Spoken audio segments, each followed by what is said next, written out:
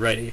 Hey, ladies and gentlemen, welcome to the Franky Slawson Show. It's the month of May already, and uh, uh, well, we uh, continue with my interview series, of course, because that's what we do here on the Franky Slawson Show. We mix it up, and today we got a very interesting guest, a guy who, uh, you know, you can say that I have a love for movies and stuff like that, and a love for pop culture, but this guy, he literally a love for pop culture because he does it in his uh, show called Flick Nation, and uh, his name is Dennis Willis. Welcome to the show.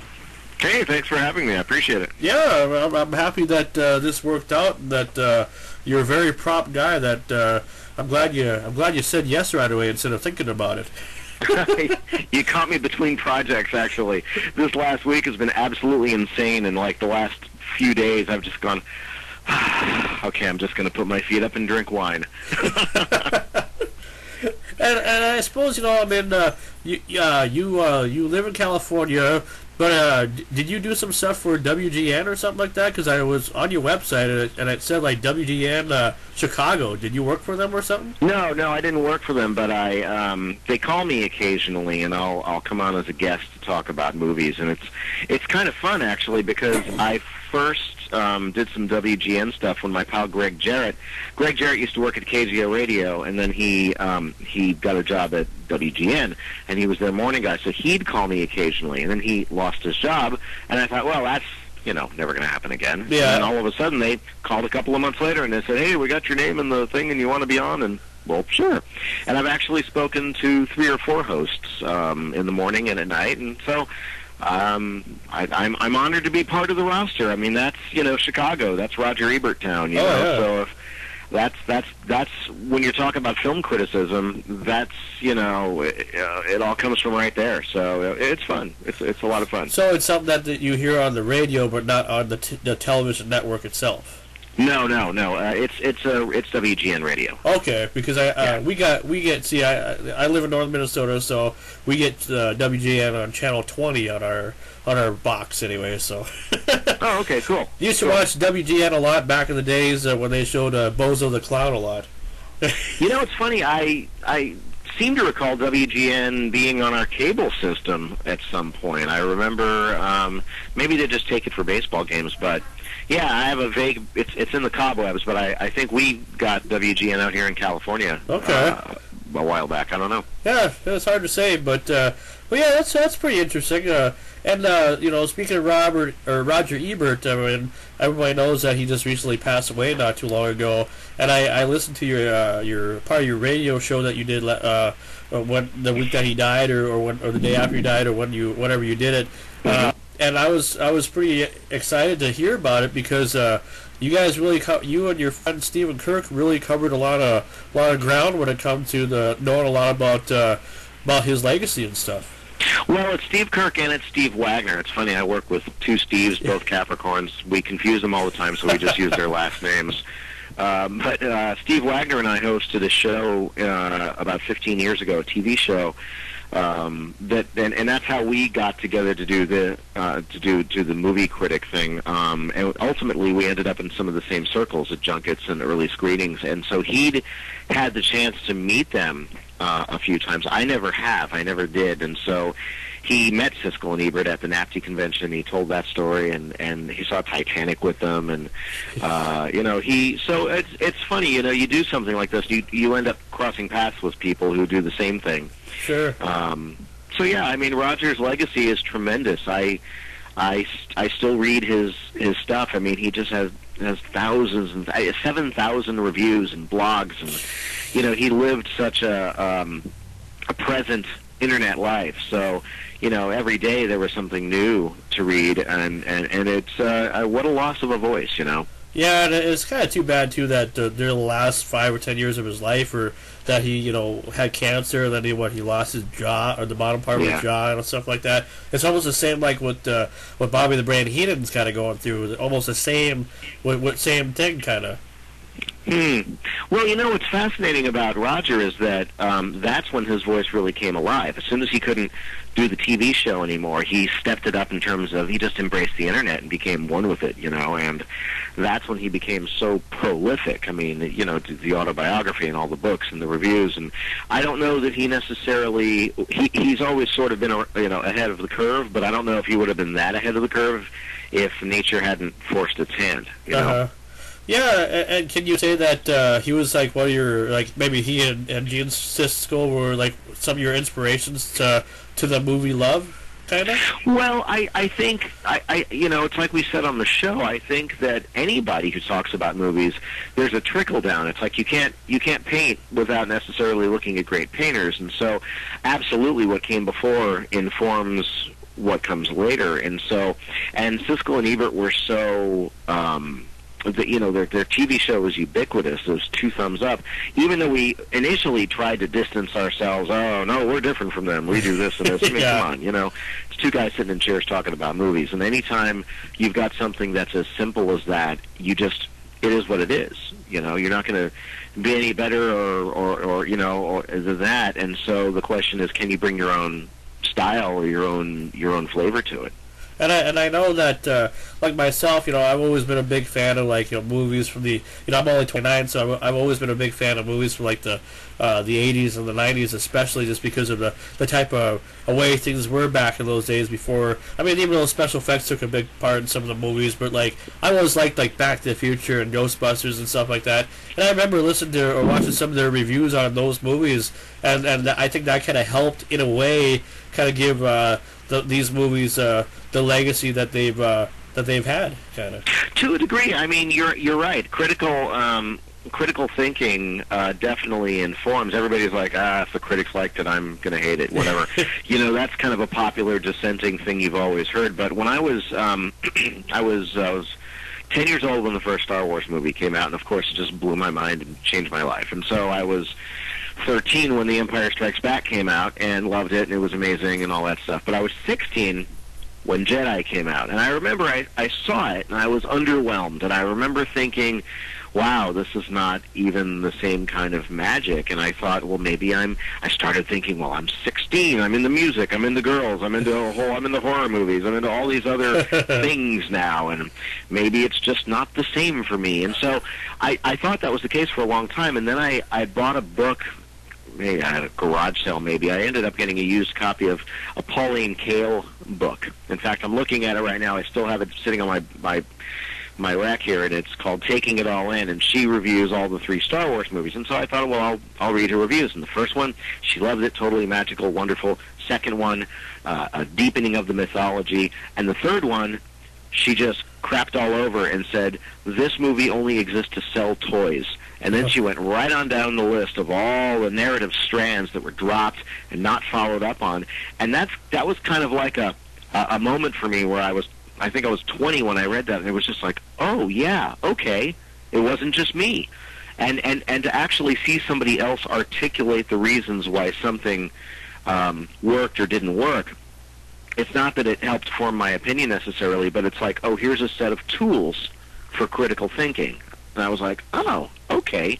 And I love that. I, I love being able to uh, uh, crack something open and look at it from a, a, a different perspective. I mean, don't get me wrong. I mean, I could throw on a slobber fart comedy and, and laugh my ass off. Oh, sure. You know, I mean, Caddyshack is one of my all-time favorite movies. So is Smokey and the Bandit. Sure. But those movies aren't trying to be anything other than what they are. Yep. You know, so like you know, a, a movie that aims a little higher comes out.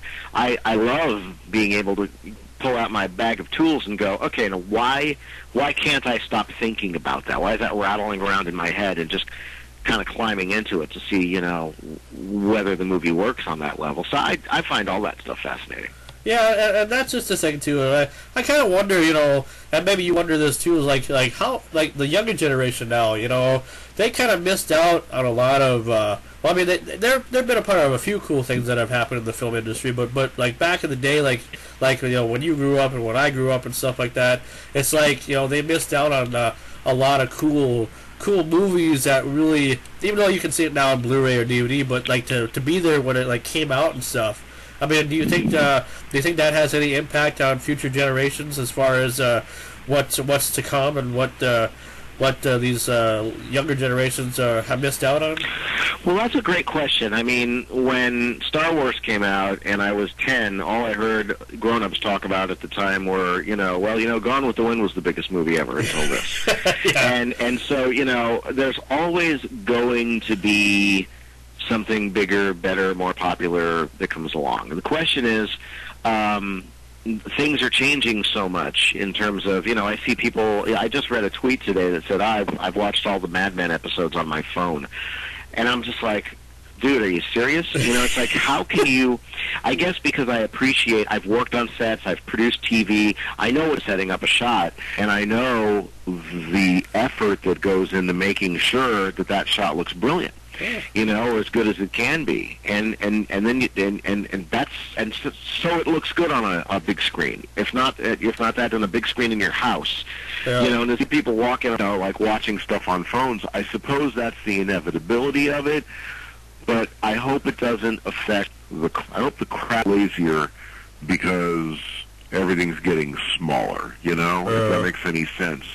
No, I, no, I totally agree because it's like back in the day you didn't have like tablets and stuff where you could watch movies on and stuff. Back in the day, you actually had to go to the theater and watch it, or go to the video rental store and, and rent it. And, and now it's like things it's changed so much, and and I don't know if it hurts the film industry or not because I you know I I, too, I tro- totally believe that people are making their money that need to make it, but it's like it's just uh, the ways of uh, accessing things are so different now compared to how it used to be.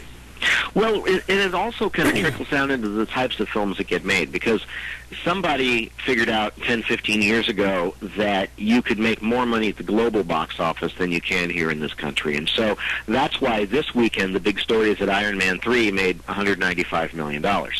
Everywhere else but here. That's why movies get released everywhere else but America first and because there's more money out there. And so you go, okay, well, what what sells in other countries? People talking? No, giant robots. That's what translates.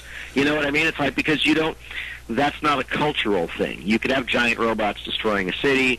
You can have big spectacles. So if it's a if it if it's a brand name, if it's something that travels effortlessly from country to country, and all you have to do is throw up some subtitles or a new track, those are the kind of movies that a studio would rather. It's easier to get two hundred million dollars for a giant robot movie than it is to get two million dollars for a character-driven film with great performances and great writing. Which is why you've got, you know, Kickstarter now is becoming the home of Veronica Mars and Zach Braff. Uh-huh. You know, because studios don't want to make those movies, and and that's why a lot of those movies are going straight to video on demand, because the idea is that grown-up audiences don't want to pay twenty dollars a ticket and see it in 3D. They just want to watch it. Yeah. You know, and so I think that phenomenon is going to continue to grow too, where what we get on the big screen is just going to continue to get bigger, louder, you know, m- m- 3D. But I think the quality, and I, you know, and the other thing is that TV is awesome right now.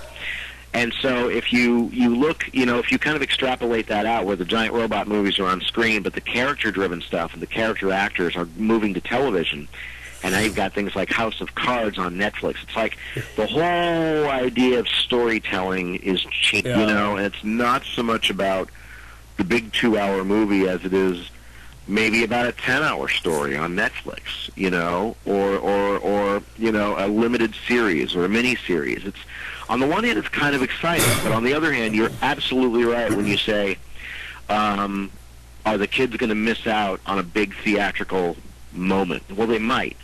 You know, it's like an Avatar or a Titanic or a Star Wars. Those only come along. The really special ones only come along once every few years. Yeah. So, uh, so what do you think about remakes? I mean, are you a big fan of remakes, or, or do you not uh, enjoy remakes? You know, um, I'm of two minds because they've been making Shakespeare films out of Shakespeare for a long, long time, Uh-huh. and, and nobody really seems to complain about that. Um, and and they, we've been covering songs forever, you know, and so the nature of of a quality piece being reinterpreted, I have no problem with. Uh, if it's a great piece, a pliable piece, you know, it's like fine. Set, set Shakespeare as a as a as a gang film with crazy music. Okay, I'm great. You know, if it's a, if it's a new way to look at something, I'm all good with it. But what I do not like, and I'm not a fan of, is this idea that just because a studio owns it, like, well, we made the movie 20 years ago and we own the logo, so let's make it now because we don't have to pay for something new. And then you get all these PG-13 horror movies, or you get, you know, these things that are rebooted, like Spider-Man. Are you kidding me? yeah. Uh, you know, I, I, I, the first one was good. The second one was great. The third one was sell toys. But five years later, we get a reboot Yeah. with, with an origin story. It's like I don't care how good that movie is in places. It's still ten years after the original. That is way too soon. You know. Yeah, and I, I just I kind of don't understand why. I mean, I enjoyed the, the Amazing Spider-Man. It was great. I watched it in theater and everything, but it's like they pretty much it was pretty much the same as the first one, uh, that with Exactly, Tobey Maguire, yeah. and I just like uh, okay. Uh, I thought this was supposed to be totally different than the Spider-Man series or I thought they were going to take a James Bond approach with it and just like here's a Spider-Man adventure with a different guy, and let's keep moving forward now. yeah. But I don't know. What do I know? So, so you said you uh, you've done some sets for some movies, and you produced or you helped produce some movies. What are some uh, big name movies Well, I you've done? produced some. I, I've produced video. Um, Okay. I I had a TV show. Steve Kirk and I uh, we did a show for 25 years here in the Bay Area called Soundwaves. Uh-huh. And I'm not like you know 100 years old. I started when I was 16, so that was kind of awesome.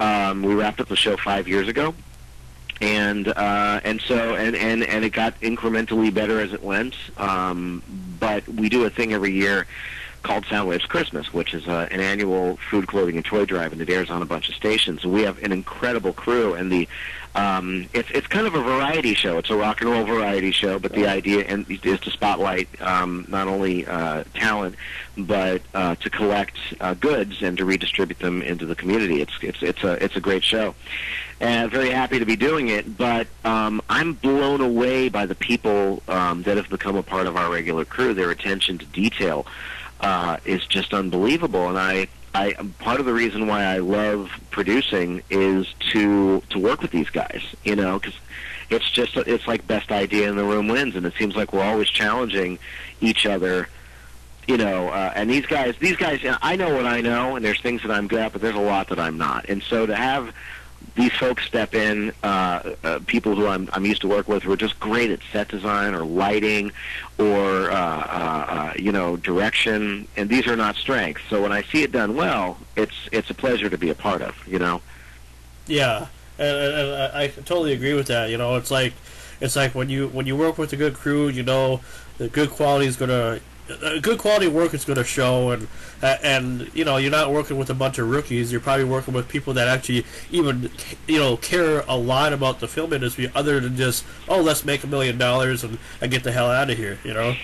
Well, this is a volunteer gig. It's it's mainly you know none of us make a penny on it, and all the money that we get from sponsors, and we've you know occasionally get corporate sponsors, and we distribute that right back out. We pay for the show, and if we've got a you know thousand dollars, two thousand dollars left over, we'll pass out checks to some uh, nonprofits, and uh, it is just and it, it's great to do it. I love this show. And, and uh, and, and then I, I noticed uh, what we, we were talking about before I hit the record button that you uh, got to do an interview with Marlon Wayans to uh, help promote the uh, uh, a haunted house movie, uh, which finally came out on Blu-ray and DVD not too long ago. Uh, Mhm. It's hard to believe how quickly that, that happens now, but because the movie came out in January. But uh, how did that uh, come about for people who uh, don't know the story? Uh, that was fun, actually. That was that almost didn't happen, and it ended up being kind of a big deal for us. Um, the way it works is that um, for our radio thing, uh, people come to town, they do press tours, and then the invitations go out. You know, and are you interested in talking to so and so on the state? And then you have to see the movie. And at the time, um, Soundwaves Christmas was going to air in, uh, it aired on 12-12 last year, so it was going to air on the 12th. The interview was like uh, a week before that, and we had just shot the last round that Saturday. If you watch that interview, my voice is completely shot. Yeah, it kind of And, look like um, that a little bit. We, uh, the way it happened was I, the rep got a hold of me and she says, you know, we're only asking a few people. Do you want to talk to Marlon Wayans? Well, you know, video and everything. And I, I would love to, but it's right in the middle of all this, and and and this. I mean, literally, like within a day of production, and I'm deep in editing, and I said, I am not going to have the time. I can't. And she leaned on me, and I was like, and then it just occurred to me, like, wait a minute, if we can get something out of this. So I said, okay, tell you what. How about this? We'll make the time. We'll cover the hell out of the movie, and uh, we'll have a lot of fun if we can get Marlon to do a shout out for our Christmas show. And it went back and forth for about seven or eight days. It's amazing how long it takes to get an answer to something as trivial as that. But Oh, sure. it went back and forth between management and and the production. Or the it's just crazy. So finally, they're you know they said, yeah, yeah, he'll do it. Awesome. So we came, we did the interview, and uh, and then we uh, after the interview, he sat right there in the same chair, did an introduction for Soundwaves Christmas, and he did a commercial Oh wow. and he was awesome to work with. It was it was great. And then we got to promote that Marlon Wayans was on on Soundwaves Christmas, which drove our numbers up and and just kind of added a little uh, little extra sizzle to it. So Marlon was awesome. He's great, and uh, here's and I've told this story before too.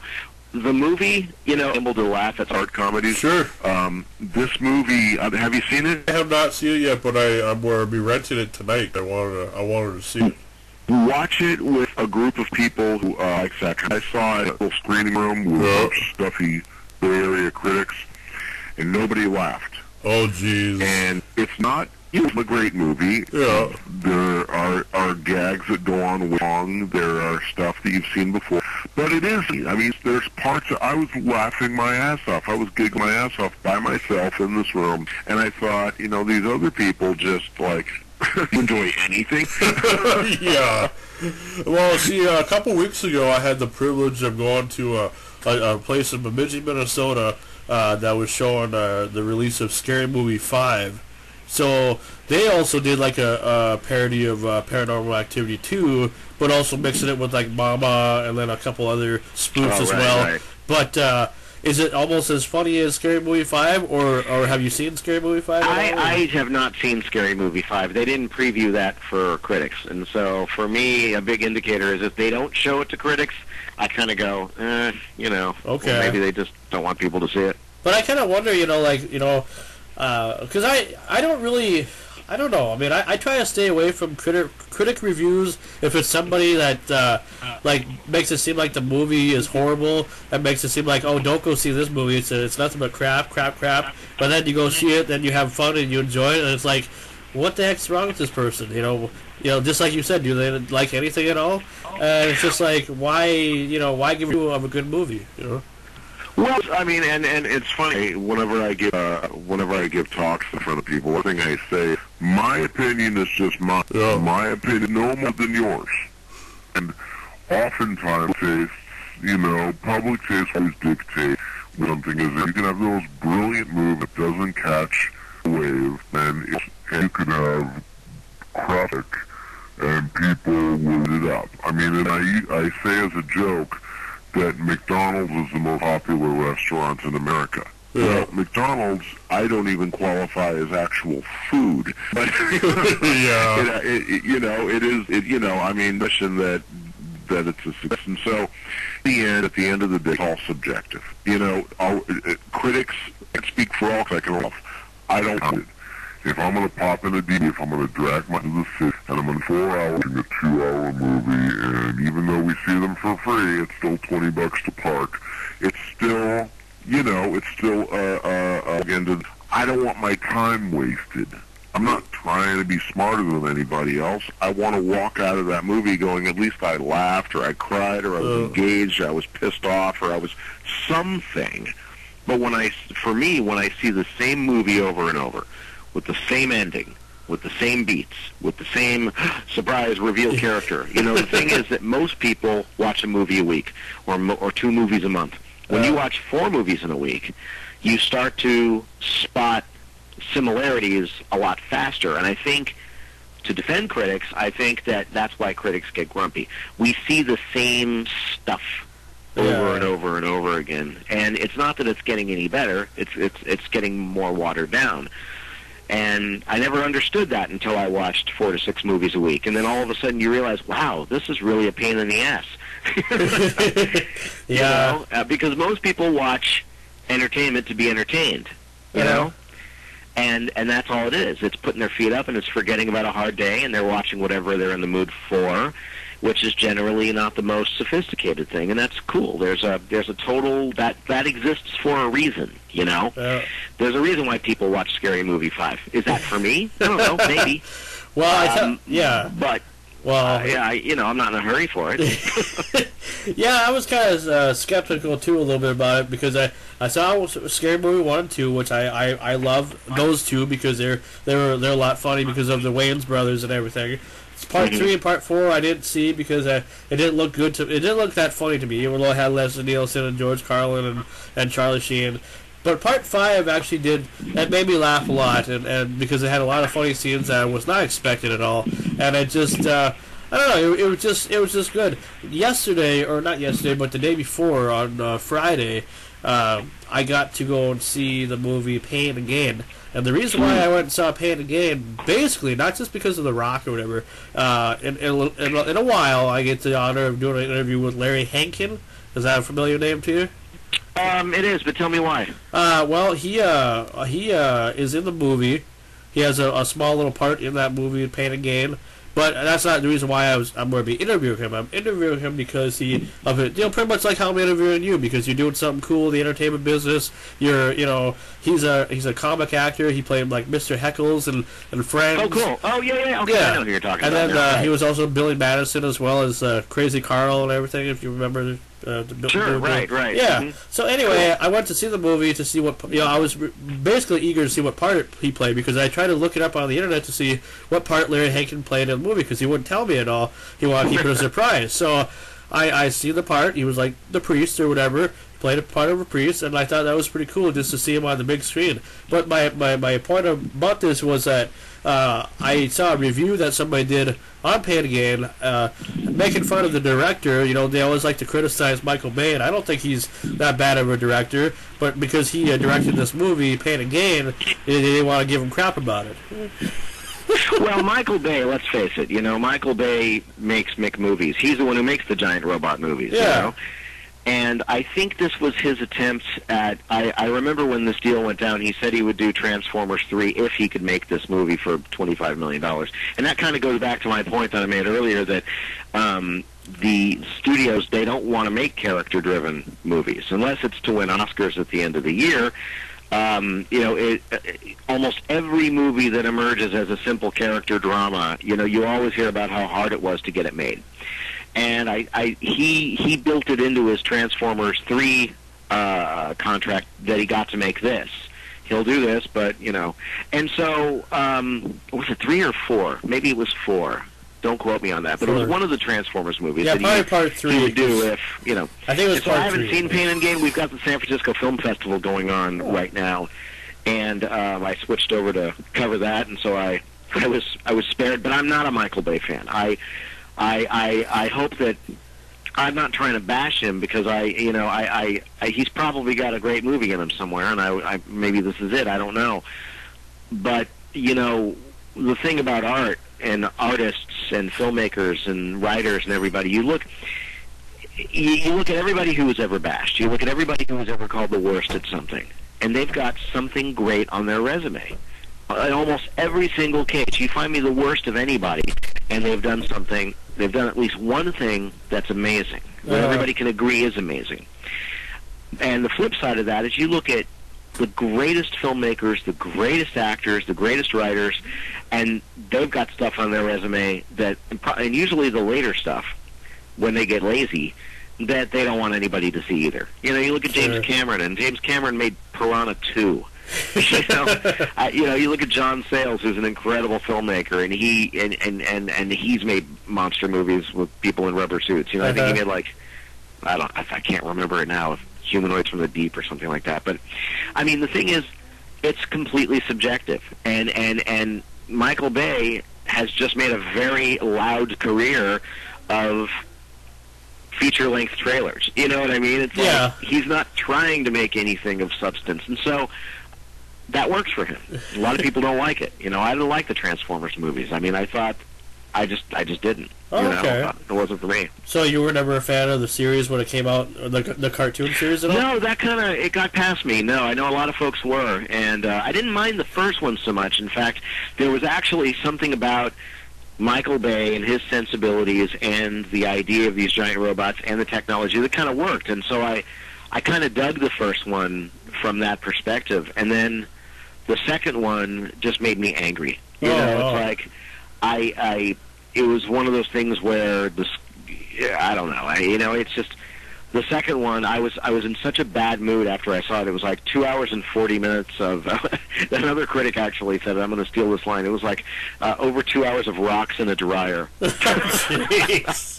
And Wow. it's just like the racist robots and the, you know, it's like, oh, come on, you know. It's like, who's this movie for? And it just irritated me. So since we're talking about movies and stuff like that, I, I know once again, if you're wondering who we're talking to, we're talking to Mr. Dennis Willis. I don't think he's any uh, relation to Bruce Willis at all, but you never know. Well, we have similar hair, but I, I can't say we make the same just yet. But uh, you you've uh, been doing a show called Flick Flick Nation. I think what since like 2009, I believe, or so. Or? yeah, I, um, it, it's funny, like anything else I've, I've ended up doing, it's ended up starting up as an accident. Uh, we didn't set out to do a show. We actually, we like working together. Uh, Steve Wagner and I did this. Uh, um, we did a show called Real Life, which became another show called Film Trip, and um, and then he went on and did something else. He became uh, uh, the director of an art gallery here in the city, Oh. and I continued on doing the radio thing. And um, I took a bunch of reviews and I put out a book in 2009. Uh, it was like the Flick Nation. Um, uh, I forget what it was called, movie guide. Oh. And so, uh, just a bunch of capsule reviews, and that was that was fun. But that's when we started to ask ourselves, you know, like, hmm, you know, there's there's kind of a brand here. This is kind of interesting, and so we. Uh, because I had access to equipment and, and, and did the radio thing, we thought, well, let's do a show. And so we started uh, doing a podcast, which and it's just continued to uh, to grow. Um, and our access now is incredible. The studios love us, and we're giving away prizes. We're giving we're we're, we're hosting screenings. I'm particularly excited. Um, you know William Friedkin, of course, the director of The Exorcist. Yeah, I'm uh, a little familiar to, with him. Yeah. Uh, incredible filmmaker, and um, he's we're, actually hosting, um, not hosting, co-hosting. We're co-presenting a Co, screening co, co. with uh, that was set up from uh, Tim Sika and the San Francisco Film Critics Circle, and it's a screening of his movie Sorcerer.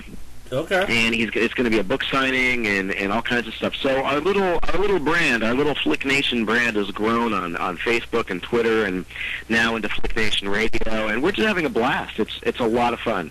Yeah, and it- sounds like a fun little podcast or radio show because I like how you use the the retro sound clips and stuff because it's it's really if you're ta- especially if you're talking about a topic like that, you know, when, when you go back in the day and you know like uh, listen to your review or your you and uh, Stephen Kirk talking about uh, the li- life of Roger Ebert and Gene Sis- Siskel, uh, hearing those old little reviews, those audio reviews on your podcast, do you get like permission to use stuff like that, or do you have to pay copyright fees for that? Well, no, I mean uh, something like that is is fairly readily available, and if it's in a historical context or in, I mean, using songs are different. Yeah. Using lyrics are different. There's ASCAP and BMI stuff, but I, I've there's never really been an issue of like somebody dies and you using a piece of footage, you know, especially Okay. if it's in the public consciousness. I am no legal expert on this. I'm just telling you that this has never been an issue for us. Um, but I know that you know, and and there's other um, official sites um, that we pull a lot of stuff from, like. Uh, there's one called EPK.TV where, um, like, just about any film in the last, you know, few years that's had an ad campaign, you can pull, you know, you can call up the clip and go, I, I need this clip as an MP3 or I need this clip. Oh. It's a wonderful service. Uh, before they used to send you bulky tapes and stuff, and Sure. it's crazy. You know, you have like warehouses full of tapes. But now, you know, if I'm talking about a pain and gain, you know, Yeah. and I need the trailer, I go to EPK.TV, I hit a button and I download the trailer. Oh, okay. That's pretty It's cool. very cool. So, uh, now we get to the part of the interview where I ask you if you have anything you would like to promote at all. Oh, well, I don't know. I, I think I would just want to uh, uh, ask folks to check out our Flick Nation uh, page on Facebook. We update it all the time. We give away prizes to new likes uh, on a weekly basis. We've got a fleet of DVDs and Blu-rays that show up. So what we do is we uh, we tend to bribe slash reward our new likes with uh, by picking a name out of the hat. We're always sending stuff out. We've got shirts to give away from the movie Trance. We've got uh, we're giving away Jurassic Park um, 3D right now. Yeah, I saw Um, that. and same thing with Twitter. Uh, and just check us out. We do. Uh, I think we do a fun show, and uh, and you know, spread the word. We're trying to get our likes and our hits up, and and all that stuff. So Well, that's cool. That's that's, that's really cool. And, uh, you know, it's it's uh, kind of neat to, to know that there's people that love that there's still people out there that love films, and I think uh, you know. I think it's just amazing because I live in an area, you know, I'm not trying to bash my hometown or anything, but it's like I live in an area where we're we're we're a little small minded more or less. Like we we think about tractors and we think about farming and we think about being a teacher or a bank worker, you know, and we don't really think outside that box or let's go work in a factory for a week or whatever for the rest of our lives. Myself, uh, just recently the uh, the local uh, paper from my hometown recently wrote an article about me be, about my interviews that I've done and everything, you know, because I'm Oh, the, nice, cool. I'm the only one in, the, in this area besides one other person that I know that's doing exactly what I'm doing, and I'm not even getting paid for it as well. I'm doing it all because it's just the love of the work, more or less, for my YouTube show. Well, welcome to the 21st century. I mean, you know, you'd be surprised, you know, who's out there and and not making what you think they are. Yeah. You know, myself included. Um, but that's the thing. It's this is a very very exciting time to be doing what you're doing because, and I'm doing. I mean, the thing is, uh, i the internet is the great equalizer, and anybody can can can strike a chord if you just are doing what people want to hear. I mean, you know, and that's the thing. You you scratch around a little bit. We uh, we ask ourselves every week, you know, is there how can we make this more engaging, more entertaining? What what you know, how can we? And and if you're not asking yourself that question, you're not growing creatively, you know, if you're not looking for the best way. But yeah, I mean, now anybody can, if you've got a good product, if you've got a good, you could put anything on YouTube, you know, uh, the technology is, is, is there to do anything you want. It's very, very cool right now. And one last question that I want to ask before we uh, conclude this interview: from one movie lover to another, I got a pretty good sized collection. Do you have a pretty good uh, movie collection at your house? I do, and um, I my family owned a video store for 20 years, and so we when we closed the store, I basically brought home I don't know a few hundred of my favorite movies, and uh, eventually, and and then we started getting movies from studios because we're you know Yeah. uh, w- for review purposes and whatnot, and so now I'm I'm I've I've actually had to rotate because I don't want my you know my friend John Stanley who did creature features here for years. You go into his downstairs area and literally around the walls, like on every single wall, floor to ceiling, are movies. And while on the one hand that's cool, um, I don't want my entire house covered in movies. so I've got one one um, wall size uh, uh, shelf, Yeah. and I rotate the old ones into the garage, and I, I keep the the newer ones or the ones that I want to have on the wall up. So my garage needs organizing. so, so uh, when you watch the movies, do you prefer to watch them? Do you have like a surround sound system or a nice big screen TV, or do you watch them, or how do you watch a movie when you when you just feel like watching it? Well, that's a good question. I um, I have to tell you, I as much as I just bash the idea of watching stuff on the phone, I, I watch movies on my tablet sometimes Oh, with okay. headphones. Sure, sure. awesome. um, but I also, you know, yeah, I've got the big screen. I uh, I try to skew Blu-ray, uh, you know, as Yeah. much as I can, um, or or digital over say DVD because I'm just like a dork that way. Oh, Um, sure. I like a great picture, but um, yeah, you know, I mean, I uh, I've watched movies. We get sometimes if we're going to interview somebody, we get um, online screeners with the the password and everything. And Oh, yeah. the streaming quality is not the best, Sure. but sometimes if you need to see something, you just need to see it. Yeah, and, and like with me, you know, I, I prefer.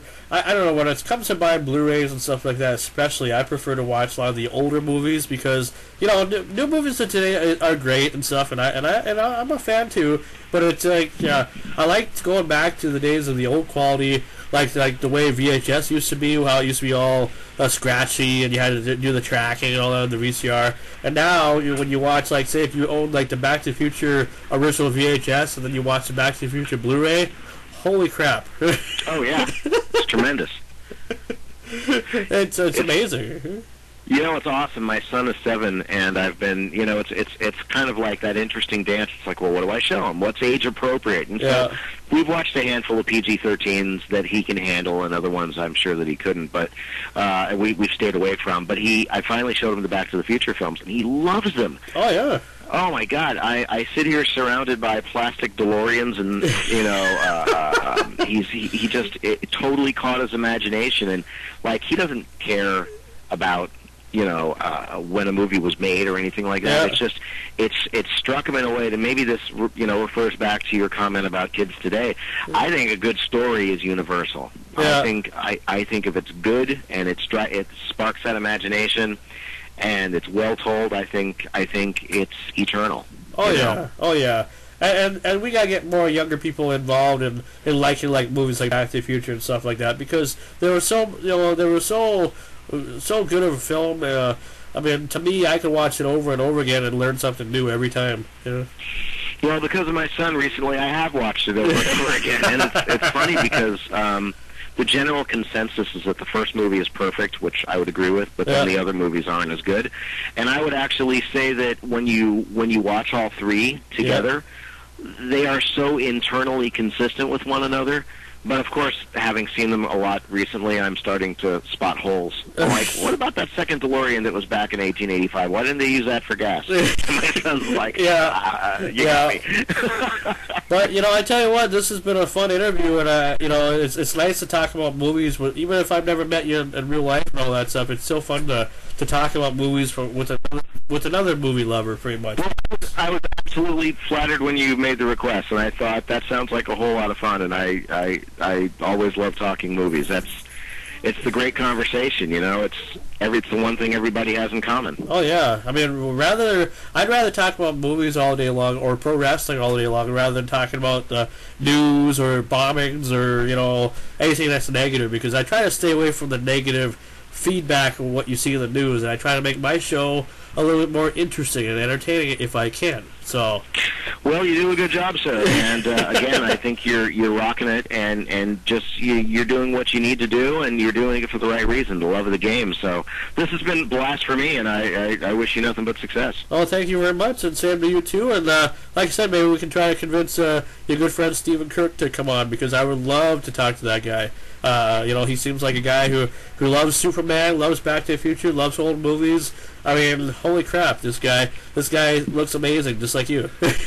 Well, he's uh, you know I'm surprised he hasn't done your show. I will I will apply the uh, requisite amount of peer pressure needed. Uh, I think we'll make this happen.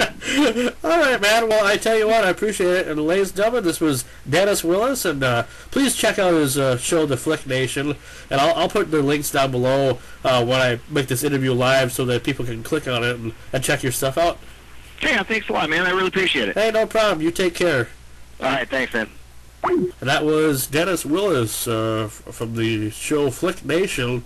Uh, and yeah, it's it's definitely a very interesting uh, show uh, that Stephen Kirk and, and uh, whoever else or Wagner that they do together. I've listened to a few episodes and I've been friends with Stephen Kirk for a while and Dennis Willis, and uh, it's amazing uh, that they just share love for films and and uh, we all share a love for films here on YouTube, especially. And so, yeah, I mean, it's it's it's fun to fun to learn about things that uh, that you have an interest in, when you know there's other people that share the same interests, rather than the same old same old all the time. It's it's neat. And and this is guy was from uh, out of California, so it's kind of even makes it more neat because he's doing doing stuff with film. So anyway, I'm Franky Slawson, and uh, thanks for tuning in to this uh, latest interview. We'll have more great guests coming up real soon here for this month of May, this last month of season five of the Franky Slawson Show, and uh, we'll see you next time. Bye bye.